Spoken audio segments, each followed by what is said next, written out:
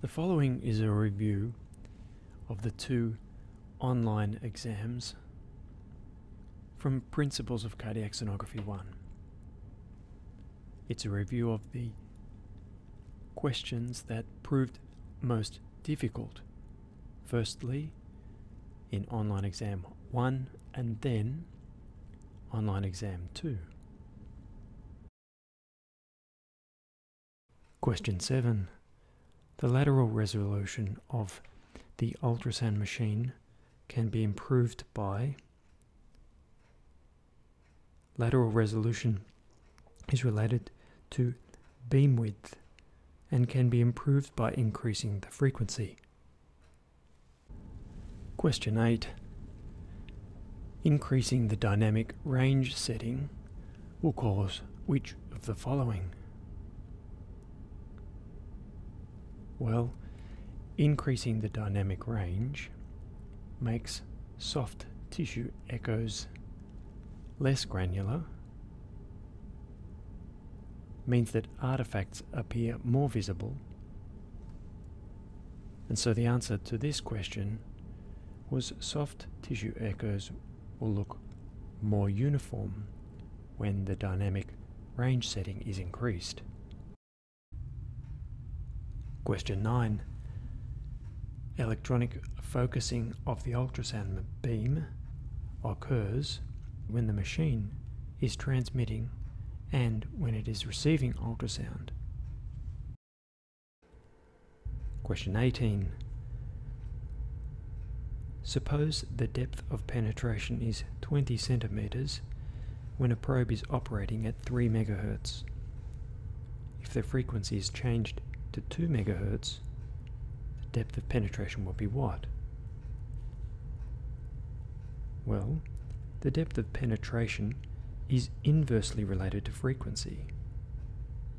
If the frequency is reduced, the depth of penetration must increase. Moreover, the depth of penetration multiplied by the frequency is constant. So, to answer the question,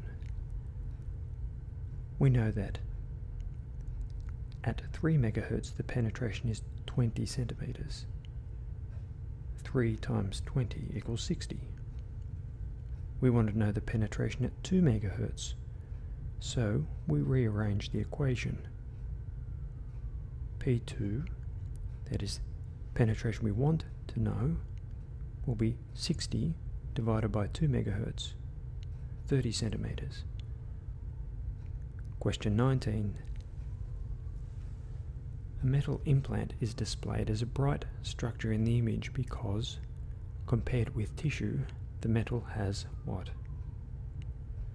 Well, metal appears bright because it is a strong reflector the degree of brightness is related to acoustic impedance.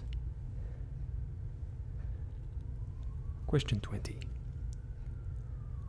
The wavelength of ultrasound is described how? Well, as the name suggests, the wavelength is the physical length of one cycle. Shown on this diagram, as being from one peak to the next peak. And the most difficult questions from online exam 2. Question 3 asks for a contrast between color and pulse wave Doppler. Color Doppler displays the mean Doppler shift from sample sites using only a few pulses of ultrasound per site. In contrast, pulse wave Doppler displays the Doppler shift from a single sample site using many pulses of ultrasound. So color Doppler is less able to detect slow moving blood. Question 4. The pressure drop across a stenosed segment in a stenotic heart valve or blood vessel can be estimated by using which of the following? The simplified Bernoulli equation is used to estimate pressure drop. Question 5. In color Doppler, frequency aliasing occurs when it occurs when the pulse repetition frequency is too low. And this can be corrected by increasing the color scale.